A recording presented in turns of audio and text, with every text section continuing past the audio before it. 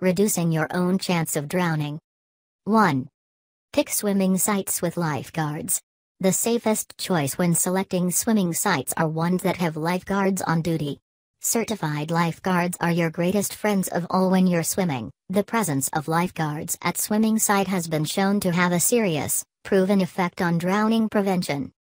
A well-managed pool or beach with lifeguard supervision takes measures to head off hazards, such as knowing where dangerous undertows are, and have the authority to remove teenagers playing around in an unsafe manner.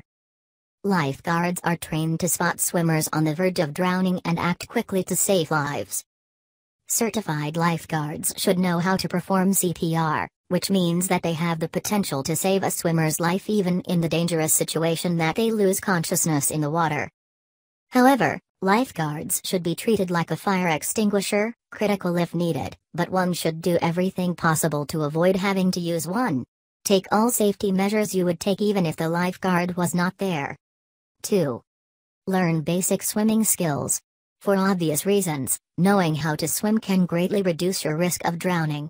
For absolute beginners, skills like the crawl stroke and treading water can allow you move and float with ease in the water, improving your confidence and security while you swim. Do not rely solely on the doggy paddle to prevent yourself from drowning. It's not as effective or energy efficient as actual swimming strokes. However, it is better than not swimming at all. If you are not a confident swimmer, consider enrolling in swimming lessons. Swimming lessons are estimated to reduce the risk of drowning by 88% in very young children, but can provide life saving knowledge even to adults. Swimmers can still drown. Just being able to swim does not mean you are immune from drowning. This statement is not to discourage anyone from learning to swim, just that overconfidence can be every bit as dangerous as an inability to swim at all. Drown proofing does not exist. 3. Use certified flotation devices. Life jackets and other flotation devices can keep their wearer afloat in the water even if they are unconscious or unable to swim, making them a valuable aid in and around the water. For some situations, flotation devices may even be a legal necessity. In the United States, for instance, many states require boaters to wear a properly fitted life jacket, or at least have one for each person on board. Usually, these life jackets will need to be certified by the U.S. Coast Guard to be considered valid. Do not rely on water wings, foam noodles, and other pool toys to keep you afloat, these are not designed to keep non or weak swimmers from going under.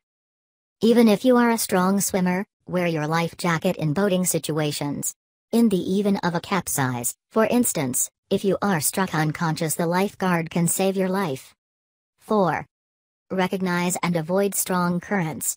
If you have done most of your swimming in man made pools, it's easy to forget that bodies are often subject to the forces of natural currents. If these currents are strong enough, they can pose serious dangers, especially to weak or inexperienced swimmers. Particularly dangerous are rip currents, strong, fast currents that occur near to shore and can pull swimmers out to sea. If you're at the beach, be ready to spot these common rip current warning signs a narrow channel of particularly choppy water. Water with a noticeably different color than the water around it. Irregular wave patterns. A line of debris or seaweed moving steadily out to sea. 5. Don't panic if you find yourself in a strong current.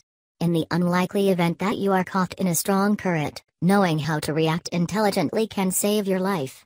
Though this can be a very scary experience, try your best not to panic. In this case, letting your natural instincts take over can be a bad idea.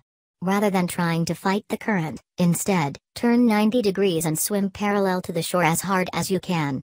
Since most rip currents are active only in relatively narrow channels, eventually, you'll get out of the rip current and into calmer waters. 6. If you feel yourself start to lose control, tread water or float. Most people's natural reaction to the sensation of beginning to drown is to fight as hard as they can to keep their head high above the water. Unfortunately, this is one of the worst things to do when you're drowning, it can quickly deplete your energy reserves, tire you out, and actually make it harder to signal for help. Usually, it's a much better idea to tread water or use a floating technique to conserve energy so that you can make a try for the shore or signal for help. To tread water, Turn yourself upright in the water and make an in and out sweeping motion with your arms to stabilize your upper body. As you do this, make an easy, bicycle like kicking motion to keep yourself afloat. If you're completely out of energy, using a survival float can allow you to rest in the water. Turn prone, face down, and spread your limbs out wide, using only minimal movements to keep yourself afloat. Lift your head when you need to breathe. Keep in mind that you only need to keep your mouth a little out of the water to be able to breathe. Fighting to stay high in the water is usually a waste of energy. 7. Don't use drugs or alcohol. Being impaired in the water is a surefire recipe for danger. Alcohol, in particular, can be a very bad choice. Not only does it impair your judgment and motor skills, but it also makes you more susceptible to hypothermia, injury, or death from getting too cold. 10. However, because many drugs' effects can be just as bad, or worse, it's a bad idea to get in the water when you're under the influence of any sort of psychoactive substance, so stay sober when you're swimming.